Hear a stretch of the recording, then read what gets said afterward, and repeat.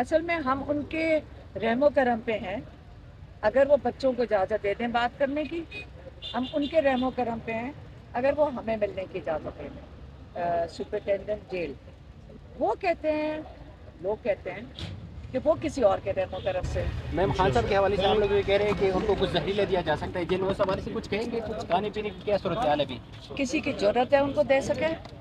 ये उनकी हिफाजत में है। जेल की हिफाजत में जिनके पास है उनके, उनकी कस्टडी में है। अगर उनके पास हैं तो सौ फ़ीसद उनकी ज़िम्मेदारी है कि उनको कुछ नहीं होना चाहिए। वो बिल्कुल सेहतमंद हैं, वो बिल्कुल सेहतमंद हैं। बिल्कुल वो माशाल्लाह वॉक भी कर रहे हैं, वो कह रहे हैं कि मैं बिल्कुल सेहतमंद हूँ। क्योंकि वो सेहतमंद हैं और उनको कुछ नहीं हुआ। ये कोई नहीं आके कह सकता कि जी उनके साथ या वो बीमार भी हो गए हैं। ठीक है? तो इनकी और ये इनकी किसी की ज़रूरत नहीं होनी चाहिए कि उनको कुछ हो मैम नेल्सन मंडेला की ट्रायल सिर्फ़ जेल के अंदर हुई तो और खान साहब की हो रहे तो मैम खान साहब कोई बड़े दहशत गर्द है क्या कि उनके ट्रायल उनके लिए जज जेल चला जाए खुद? ये ज़्यादा देर चीज़ चलेगी नहीं मैं आपको ये बता दूँ। हम भी तो बाहर बेटों से बात हुई है खान साहब की? बात ये करने ही नहीं दे रहे थे जेल अथॉरिटीज अब जाके ये शहजाद डांगे हमारे जो लॉयर हैं इन्होंने एप्लीकेशन फ़ाइल की है और जज से कहा है कि आप हमें बताएँ कि जेल अथॉरिटीज़ हमें क्यों नहीं इजाज़त दे रही कि वो अपने बच्चों से बात कर सके।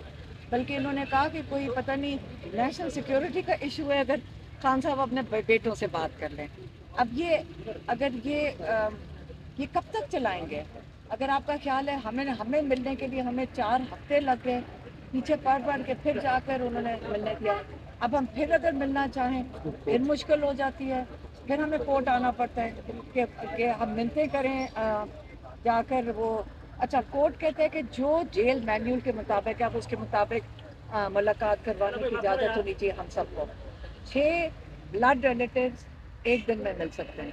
ये इजाज़त ही नहीं देते। हैं कोर्ट फिर कहते हैं कि जो सुप्रिटेंडेंट का दिल करे असल में हम उनके रहमो करम पे हैं। अगर वो बच्चों को इजाज़त दे दें बात करने की हम उनके रहमो करम पे हैं। अगर वो हमें मिलने की इजाज़त दें सुप्रिटेंडेंट जेल वो कहते हैं लोग कहते हैं कि वो किसी और के रहमो करम पे। मैम जाते हुए से और आने वाले चीफ जस्टिस से क्या मुतालबा करेंगे? वो उनकी देखिए जी हम पाकिस्तान सारे पाकिस्तान का मुतालबा सिर्फ़ यही है कि देखें हम जो लोग हैं ना पाकिस्तानी हम इनसे इंसाफ का ही तकाजा कर सकते हैं हम इनसे अपील कर सकते हैं हम सबको इंसाफ दें। आज अगर जो हम यहाँ कोर्ट में देखते हैं तो हम भी घबरा जाते हैं कि बाकी सबके साथ क्या होगा जो पाकिस्तानी हैं सारे। तो इसलिए हम उनसे यही दुआ कर सकते हैं कि इन हम सबको इंसाफ मिलेगा अपने जजेस से। मैम खान साहब के हवाले से हम लोग ये कह रहे हैं कि उनको कुछ जहरीला दिया जा सकता है जिन उस हवाले से कुछ कहेंगे कुछ खाने पीने की क्या सूरत हाल है अभी? किसी की ज़रूरत है उनको दे सके? ये उनकी हिफाजत में है। जेल की हिफाजत में जिनके पास है, उनके, उनकी कस्टडी में है। अगर उनके पास हैं तो सौ फ़ीसद उनकी ज़िम्मेदारी है कि उनको कुछ नहीं होना चाहिए। वो बिल्कुल सेहतमंद हैं। वो बिल्कुल सेहतमंद हैं। बिल्कुल वो माशाल्लाह वॉक भी कर रहे हैं। वो कह रहे हैं कि मैं बिल्कुल सेहतमंद हूँ। क्योंकि वो सेहतमंद हैं और उनको कुछ नहीं हुआ। ये कोई नहीं आके कह सकता कि जी उनके साथ या वो बीमार भी हो गए हैं ठीक है? तो इनकी और ये इनकी किसी की ज़रूरत नहीं होनी चाहिए कि उनको कुछ हो मैम नेल्सन मंडेला की ट्रायल सिर्फ़ जेल के अंदर हुई तो और खान साहब की हो रहे तो मैम खान साहब कोई बड़े दहशत गर्द है क्या कि उनके ट्रायल उनके लिए जज जेल चला जाए खुद? ये ज़्यादा देर चीज़ चलेगी नहीं मैं आपको ये बता दूँ। बहुत शुक्रिया। हम भी तो बाहर